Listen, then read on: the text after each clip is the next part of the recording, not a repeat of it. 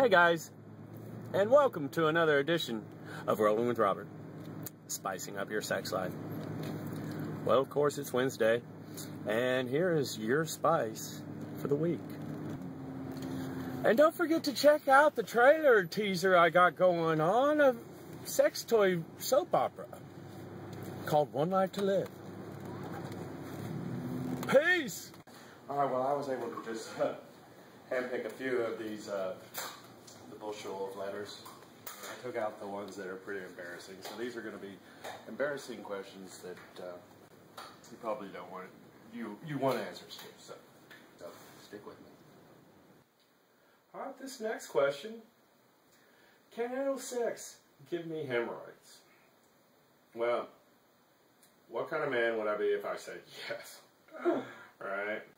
Hemorrhoids is a result of excess pressure in that area. Or maybe when you're you know, like when you're doing this a lot. And yes, anal sex, if you are tense and, you know, gritting your teeth and, oh my God, he's going to stick me, then yeah, you're going to have that intense you know, pressure in that area, and then blam, you know, it rips, damages those things. So check out the link, or you got to go at it very smooth. You got to be relaxed when you try it. If you're relaxed, everything should go fine. Lubrication, remember, moisture. Moisture is the key. But uh, lubrication will help. But be relaxed, and uh, and then no, it, you won't even be scared of having hemorrhoids or even thinking about it. And if, if ladies, if you go ahead and and have anal sex more and more and be relaxed at it, it actually can prevent hemorrhoids. Yes, it can. You know, it improves the strength and the flexibility of the butthole. So take that advice and uh, give that a try, ladies. Let's have some more anal sex on there, you, you know, because that hemorrhoids is out there ready to come at you. Peace! Our next one is about cyber sex. Is it cheating? According to women, if the guy's even on the computer, he's cheating. But, um, you know, us guys, they, we got this kind of rule thing going on with uh, if it's cheating or not. It's kind of like a, you know, zip code thing, and then there's the, uh, if there's not actual penetration, oh shoot, there's a whole list.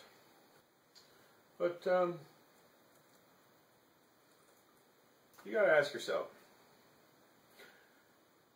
if your partner was doing it, would you be alright with it? Now, I know I would, and I know my wife would, but would you?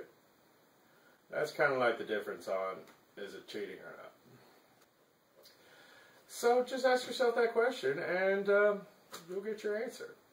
But if you feel that your partner is, is on the computer too much, talking to, uh, well, three different people or whatnot, maybe they're not getting um, enough in the bedroom. You should definitely talk to your partner about that and say, and be open and honest about it. Try that. I mean, the only time guys are really uh, on the computer, I mean, it's bad enough you got to talk to the women, but play with them online? No, they're just looking for porn and whatever the case. So take um, that advice, and I hope it works for you. Peace!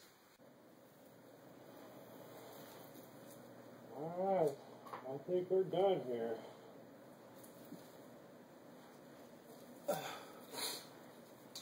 So, uh, go ahead and get dressed, and um, go ahead and tell, the, if you don't mind, uh, tell the next girl to come on in. Alright. Uh, last question is about a, a lady who's concerned about her vaginal smell. Now, other than that, girl, uh, 95% of females uh, think they smell bad, but they smell just fine. And taste fine too. You know, but if you are concerned, and you should go see your OBGYN or me. And because you could have an infection, you know, or some seepage or something going on there. But if you find that you don't have an infection, you know, try try changing your diet. You know, not so much spicy, pungent food. You know, that, that might that might work.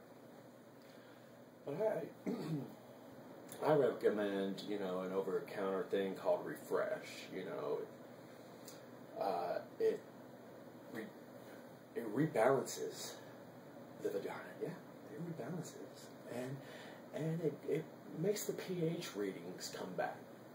You know, and who would have thought it that they have pH readings, you know, and and it smells good too.